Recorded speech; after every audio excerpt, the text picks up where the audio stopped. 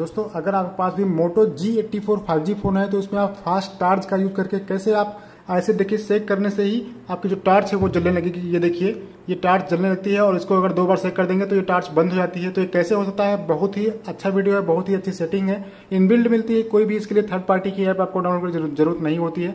तो यहाँ पर दोस्तों, करना क्या होता है? सबसे पहले आपको जाना होता है सेटिंग में। सेटिंग में जाएँगे, थोड़ा सा नीचे जाने पर यहाँ पर मिलता है आपको गेस्टर्स का ऑप्शन गेस्टर्स पे जाएँगे तो यहाँ फिर से स्क्रॉल करेंगे और यहाँ पर एक ऑप्शन मिलेगा आपको फास्ट टार्च का।